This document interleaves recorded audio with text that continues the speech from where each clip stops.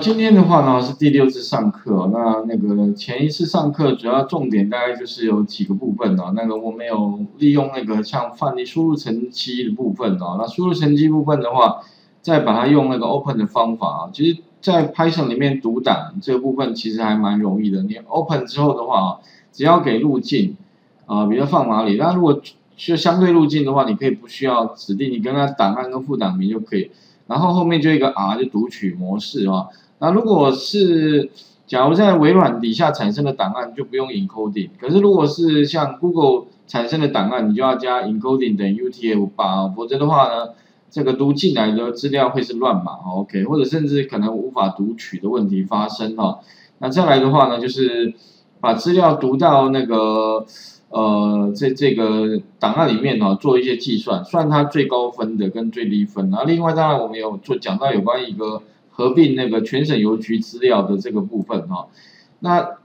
那这个合呃全省邮局资料总共会有二十五个档，OK，那如果二十五个档我要一次很快的就全部把那个档案全部都啊把它合并起来的话，那最简单的方法，那你可以用那个 OS 里面的那个叫 Work 方法，OK，那那他会告诉你这个你给他指定某一个呃资料夹啊，他会把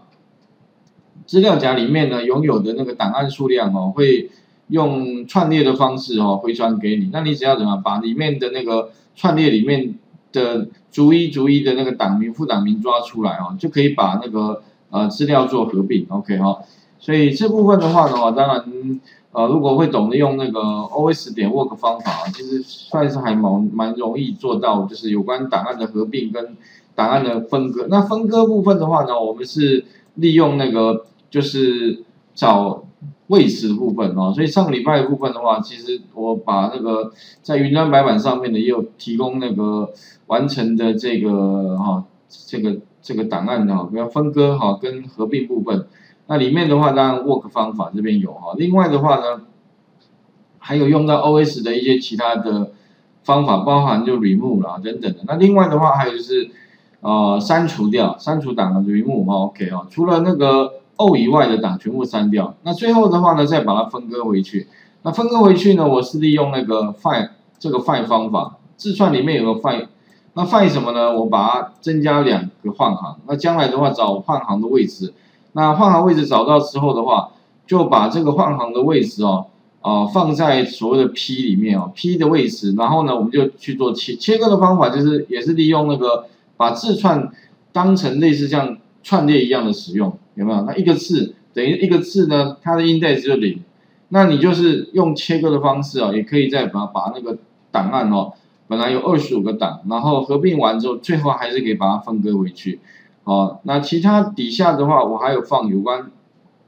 如果用 Excel VBA 一样可以做到类似的方法。那这边的话呢，它那个 Excel 里面有内建一个叫 Query Table 啊，其实 Query Table 里面也可以做读档的部分，那只要配合一样是 do file 回圈。啊，不过这边的话用 do file 回圈里面配合一个叫 dir 的方法，跟他讲一个路径哈，然后让他去找什么，找那个目录里面的所有所有的哪一种形态的副档名，他就帮你全部找到。那找到之后，你也可以呃逐一逐一的做，看要合并啊，或者要分割啊，其实在 Excel 里面一样可以做一样的事情。OK，那今天的话呢，重点我们摆在那个有关那个字典啊，什么叫字典啊？待会可以。先看一下有关字典的相关的说明，我把它放在第啊讲义第五个单元里面的第三十八页。那基本上的话呢，它的概念其实就是有点像那个 key 跟 value 啊，key 跟 value，OK。那也就是说呢，哈，以往有点像串列，之前的串列呢只能放一个资料，但是呢，哈，在字典部分的话，它是放两个资料，一个是 key，一个是 value，OK 哦。那这个好处就是说呢，我们可以在这个里面有点像，就是做资料库用，资料库里面编号也许就放 key，啊，value 的话就是编号以外的其他资料就放 value 里面，OK，好，那这个部分的话呢，后面我们会举一个例子啊，比如说，呃，待会的话啊，也许可以试试看哦，在那个我们讲义啊，就是在第五个单元里面的第三十八页里面呢，会有一个练习题。那这个练习题的话呢，跟前面的那个例子哈也蛮像的，就是说呢，输入程序之后啊，直到输入负一，那就离开。OK，那只是说呢，有不一样的部分，就是说的哈，这个地方呢，除了输入成绩之外，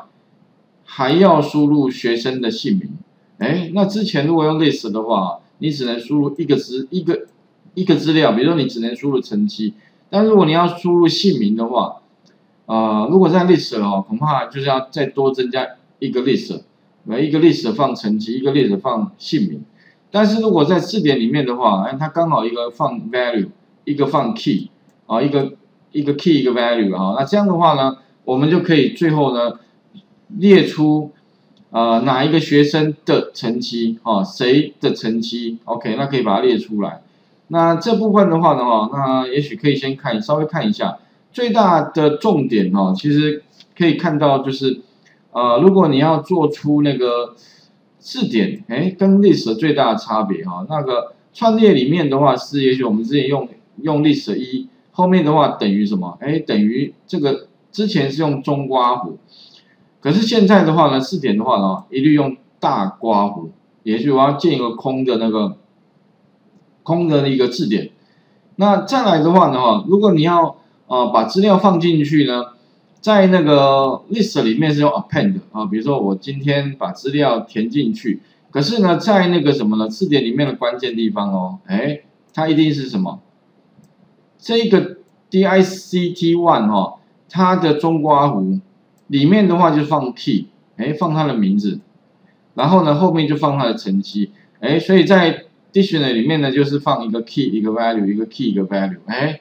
那最后的话呢，如果你要把这个啊 key value 呢哈，全部抓出来的话，那我的习惯是再把它放到这个串列里面做处理，串列做处理，然后呢分别把结果给列出来。，OK 哈，所以这部分也许先看一下，就是第一个了解一下什么叫字典的一些相关形态，还有它一些重要方法啊。第二个的话呢，利用字典哦输入成绩，那成绩是有姓名的。这个资料哦，那怎么做啊？也许可以先稍微试一下，来画面先还给各位哈。